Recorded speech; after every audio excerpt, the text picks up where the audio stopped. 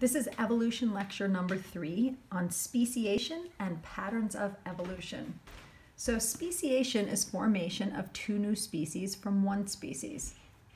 And before we talk about what creates um, or what causes speciation, we need to define species.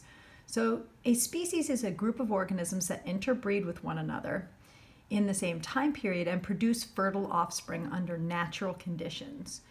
So it's not enough to be able to bring those organisms into a laboratory situation and get them to breed. They have to do so on their own, and their offspring have to be fertile. So, for example, you can mate um, horses and donkeys and get mules, but mules are sterile, which means mules cannot produce offspring. You cannot mate a mule with a mule and make more mules. So, you would not consider horses and donkeys in the same species.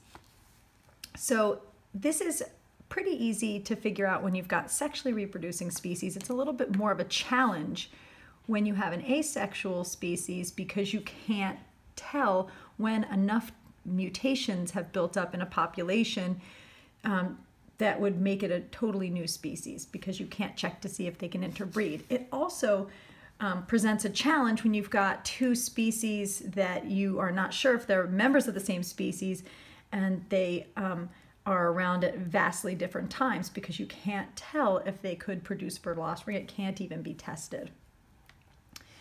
So anytime you have reproductive isolation, you can end up with speciation.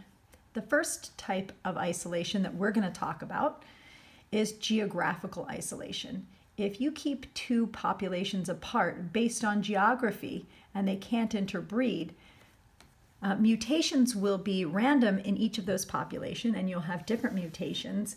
And so you will have um, eventually different traits in those populations regardless of whether the environment is, is similar or not. So for example, um, here's the Colorado River and you have two species of squirrel on opposite sides. And the environment isn't dramatically different on opposite sides of um, this particular river but the mutations that happen in those two separate populations would be random. And since they can't interbreed, they're not going to bring alleles from one population to the other. The second type of isolation is behavioral isolation, and that is when differences in mating rituals or other reproductive strategies prevent organisms from mating. So, for example, you might have um, bird songs that are unique to each species, and females will not mate with a male that sings the wrong song. Um, temporal isolation is anything having to do with time.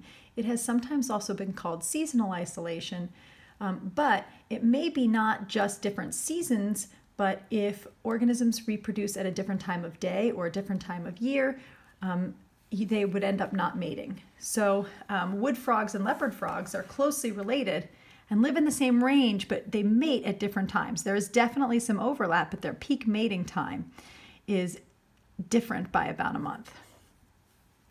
So anytime you have isolation based on time of mating, that is temporal isolation.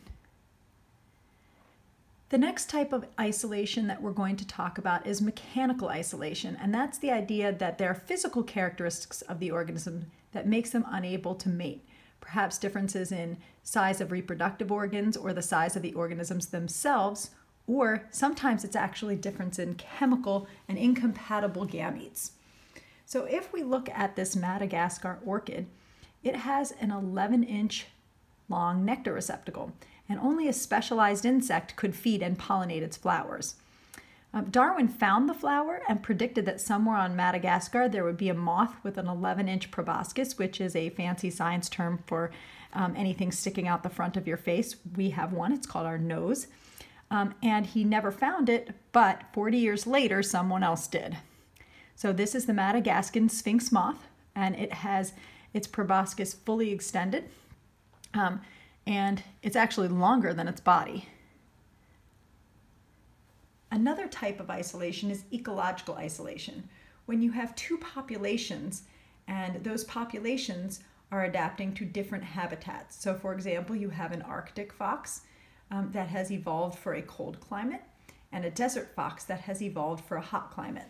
If you look at those foxes, the Arctic fox has tiny ears and thick fur, and the tiny ears prevent uh, the Arctic fox from losing heat.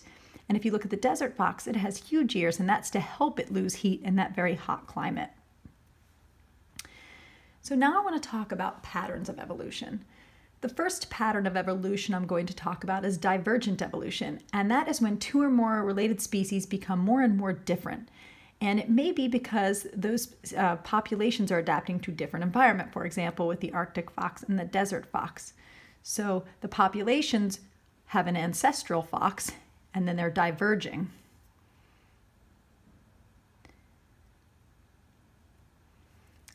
A specific type of divergent evolution is called adaptive radiation, and that's when many species evolve from a single ancestral species due to lots of vacant niches. So, for example, um, Darwin's finches in the Galapagos Island, there's lots of different finches. Um, another example would be all of the different lemur species in Madagascar. And the next pattern I want to talk about is called convergent evolution. So, divergent evolution is evidence of common ancestry.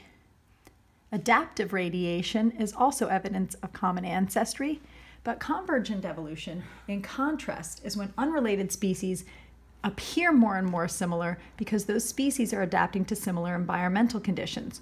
So, for example, if you look at a dolphin and a shark, they look alike, and actually the body shape is very similar with a modern between a modern dolphin, um, a fossil ichthyosaur, and a modern shark because they're all evolved for swimming around in water. But if you look at their ancestry, there is quite a bit of evidence to suggest that dolphins have evolved from a, a land mammal and ichthyosaurs had a land reptile as their ancestor and the modern shark had an ancient fish as its ancestor. So sharks and dolphins can look alike, on the outside, but it doesn't mean they're genetically closely related. They're, those species are just evolving in an aquatic environment and end up having some of the same traits. And coevolution is when two or more species in close interaction evolve together, and each is a very important selection factor for the other. So, predators and their prey might evolve together, for example, um, there is a rough skinned newt, which is poisonous, and a garter snake, which eats that newt. And the rough skinned newt population is evolving to be more and more toxic, and the garter snake population um, is evolving to become more and more resistant to that toxin. Parasites and their hosts evolve together, and plants and their pollinators evolve together. So, for example, that orchid and that moth um, have co-evolved.